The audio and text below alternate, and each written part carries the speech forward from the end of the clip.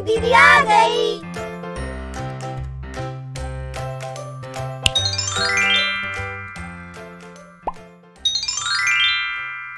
समांतर व तिर्यक रेखाओं द्वारा बने कोण। इस वीडियो में हम सीखेंगे समांतर व तिर्यक रेखाओं द्वारा बने संगत कोण, एकांतर कोण तिर्यक रेखा के एक ओर के अंतः कोण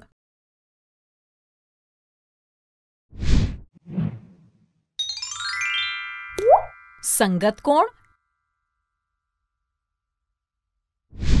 बच्चों तिर्यक रेखा के द्वारा बनने वाले कोणों के बारे में तो आप जानते ही हैं। तो चलो, एक गतिविधि करते हैं। सबसे पहले हम एक स्केल की मदद से दो समांतर रेखाएँ खींचते हैं। इनको नाम देते हैं रेखा एल और रेखा एम ठीक है? चलिए, अब रेखा एल और रेखा एम को काटने वाली एक तिर्यक रेखा टी खींचते हैं ऐसे। क्या यहाँ पर आपने ध्यान दिया? तिर्यक रेखा टी समांतर रेखाओं एल और एम के साथ आठ कोण बना रही है है ना? चलो, अब इन कोणों को नाम देते हैं। कोण एक, कोण दो कोण तीन, कोण चार, कोण पाँच, कोण छ, कोण सात, कोण आठ। ठीक है? अच्छा। अब मुझे इन कोणों में से संगत कोणों के युग्म बताइए। हाँ संगत कोणों के युग्म हुए कोण एक और कोण आठ, कोण दो और कोण पाँच, कोण तीन और कोण छ, कोण चार और कोण सात। बच्चों, क्या आपको लगता है कि संगत कोण बराबर होंगे? हम्म चलिए, इन्हें माप कर ही देख लेते हैं। पहले, चांदे की मदद से कोण एक को मापते हैं। इसके लिए चांदे के मध्य बिंदु को रेखा एल और रेखा टी के प्रतिच्छेद बिंदु पर रखते हैं। इस तरह से। तो क्या माप आई चांदे में? हाँ 130 डिग्री। तो कोण एक हुआ 130 डिग्री का। इसी तरह से मापने पर कोण दो हुआ 50 डिग्री का, है ना? तो कोण तीन की माप आई 130 डिग्री, कोण चार की माप आई 50 डिग्री, कोण पाँच हुआ 50 डिग्री का, कोण छ 130 डिग्री का, कोण सात 50 डिग्री का, कोण आठ 130 डिग्री का। चलिए अब संगत कोणों की मापों की जाँच करते हैं। संगत कोण एक और आठ की मापों को देखिए। अरे हाँ ये दोनों कोण तो बराबर हैं, क्योंकि दोनों ही 130 डिग्री के हैं ना। चलिए, अब कोण दो और पाँच को देखते हैं। हम्म कोण दो पचास डिग्री का है और कोण पाँच भी पचास डिग्री का है। तो ये दोनों कोण भी बराबर हुए, है ना? इसी तरह कोण तीन और छह दोनों ही 130 डिग्री के हैं तो ये भी बराबर हुए। कोण चार और सात दोनों ही 50 डिग्री के बराबर हैं। बच्चों, इस गतिविधि से हमने सीखा कि संगत कोणों की मापें बराबर हैं। तो हम कह सकते हैं कि यदि दो समांतर रेखाओं को कोई तिर्यक रेखा काटती है तो संगत कोणों के हर एक युग्म की माप समान होती है।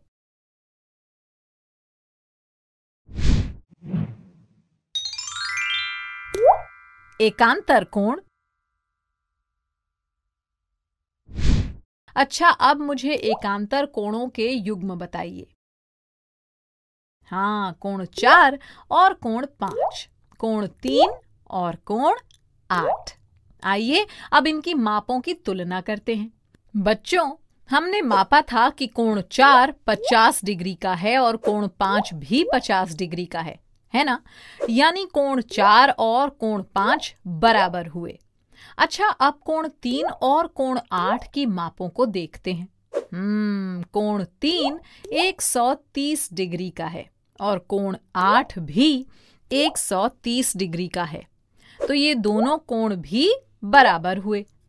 बच्चों इससे हम ये निष्कर्ष निकाल सकते हैं कि यदि एक तिर्यक रेखा दो समांतर रेखाओं को काटती है तो एकांतर कोण बराबर होते हैं।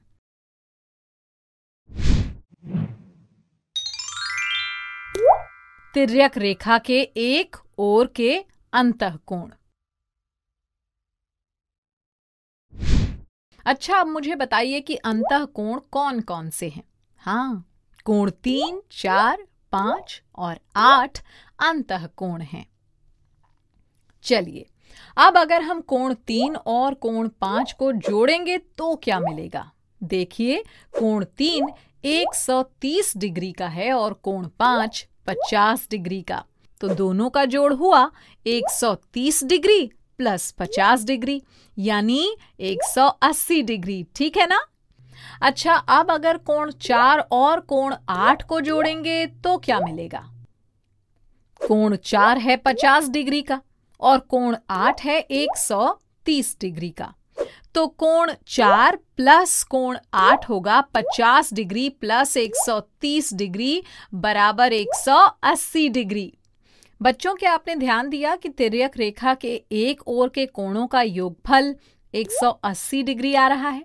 हम्म तो हम कह सकते हैं कि यदि एक तिर्यक रेखा दो समांतर रेखाओं को काटती है तो तिर्यक रेखा के एक ओर के अंत कोणों का योग योगफल 180 डिग्री होता है। चलिए, अब इस चित्र को देखते हैं। यहाँ पर दो रेखाएँ एम और एन हैं, जो समांतर नहीं हैं, और इन्हें एक तिर्यक रेखा एल काट रही है। अच्छा बच्चों, आपको क्या लगता है कि यहाँ बनने वाले संगत कोण बराबर हैं या नहीं? चलिए, चांदे से माप कर देखते हैं। तो संगत कोणों का एक युग्म है कोण एक और कोण आठ। कोण एक की माप आई है 110 डिग्री। और कोण आठ की माप आई है 125 डिग्री। अरे, ये दोनों संगत कोण तो बराबर है ही नहीं। चलिए, अब माप कर देखते हैं कि एकांतर कोणों के युग्म बराबर हैं या नहीं। यहाँ पर एकांतर कोणों का एक युग्म है कोण आठ और कोण तीन। हमने अभी मापा था कि कोण आठ 125 डिग्री का है। अब कोण तीन को मापते हैं। तो कोण तीन है 110 डिग्री का, ठीक है? अब देखो, एकांतर कोण आठ और तीन भी बराबर नहीं है है ना? चलिए, अब तिरक रेखा के एक ओर बनने वाले कोण तीन और कोण पाँच को देखते हैं। हमने अभी मापा था कि कोण तीन है 110 डिग्री का, है ना?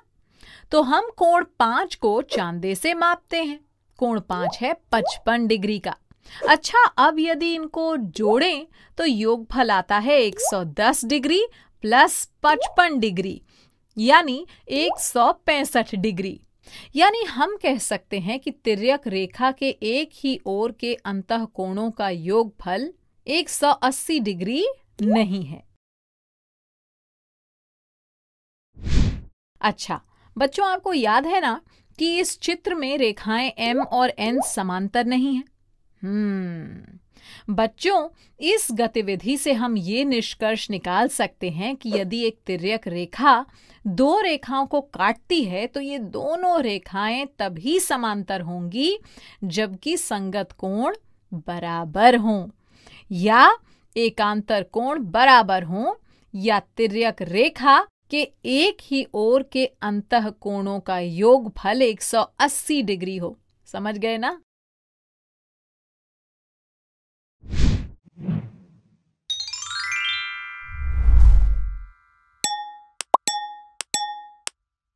चलिए अब कुछ सवाल पूछ लेती हूँ। देखते हैं कौन कौन सही जवाब देता है।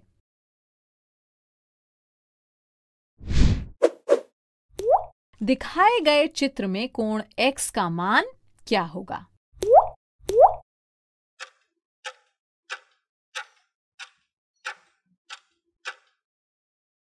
हाँ कोण x का मान होगा 125 डिग्री। क्योंकि चित्र में दिए गए दूसरे संगत कोण की माप 125 डिग्री है।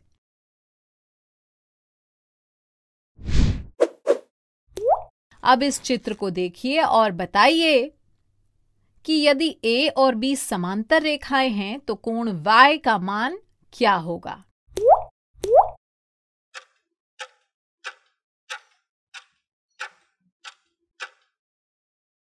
बिल्कुल सही। कोण y होगा 127 डिग्री का, क्योंकि चित्र में दिखाए गए दोनों कोण एकांतर कोण हैं और बराबर हैं।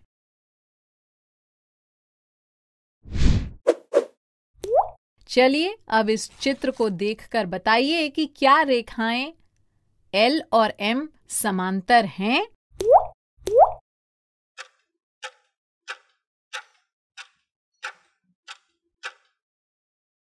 हाँ रेखाएँ L और M समांतर हैं, क्योंकि दिया गया है कि एकांतर कोण बराबर हैं।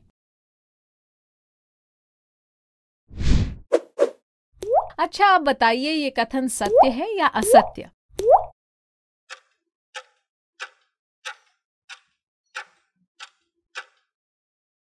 शाबाश! ये कथन असत्य है।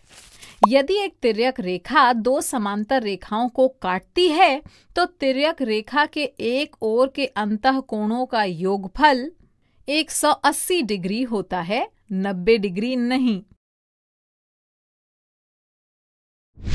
बच्चों, ऐसे बहुत से प्रश्न वर्कबुक में दिए हैं, उनका आपको खूब अभ्यास करना है, ठीक है?